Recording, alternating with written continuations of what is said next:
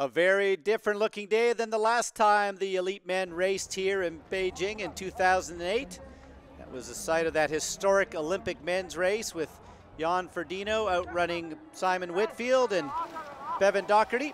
And off they go. It is a long 1,500 meter swim. They do not come out of the water.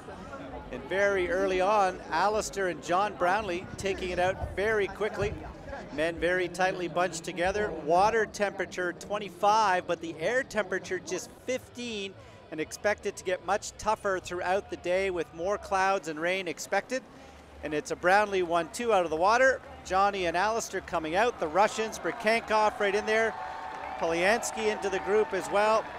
And they'll be using the same format on this course that they did three years ago. It is a big group of men heading out onto this six lap 40 kilometer ride. There's Brukhankov trying to get away.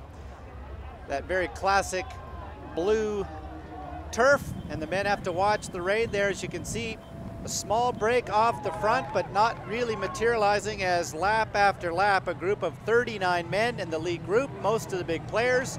The chase group, including the likes of Chris McCormack and Ruedi Wild and Bruno Pais, about a minute back, and there's Sven Rieder getting ready to come off the bike.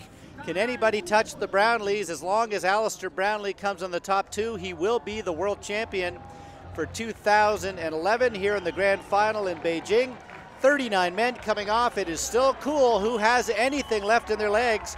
This is a very tough 40 kilometer bike. They're down now at 1 hour 17 and change. They'll have about a minute gap back to the athletes behind. Four laps on this run course and a lot of hills are going to have to go up and over the Brownlees, one and two. Can Gomez get the job done here and claim another world championship title? How about the young French athlete, David Hauss? Maybe Vidal. Well, it's Brownlee heading off onto the course. The Germans in there, Petzold trying to get something special. Ivan Rana, a three-time Olympian who was fifth on this course just three years ago in a very solid position right now. Lots of money, lots of points on the line. The Spaniards, obviously, it'll be Gomez they're cheering for. The American, Sherbat right there, trying to will his body up. But it's Alistair Brownlee starting to pull away from Johnny Brownlee and Sven Rieder right in third place right now. Incredible as they come to the late stages. Vidal and Gomez fighting it out very close together. And they're down now to less than a kilometer to the finishing line. And it is going to be a world championship title and a grand final win for Alistair Brownlee. Last year he won the grand final, but it was Gomez winning the title. The second across the line today, Sven Rieder, what an incredible performance. Third across the line will be Johnny Brownlee. He'll be second for 2011. Polyansky, a great performance. And third on the day, John Brownlee steps up from under 23 last year, right onto the podium. Sven Rieder, silver. And nobody close to Alistair Brownlee as Britain gets two on the podium. The brothers Brownlee, top of the podium for 2011, nobody close.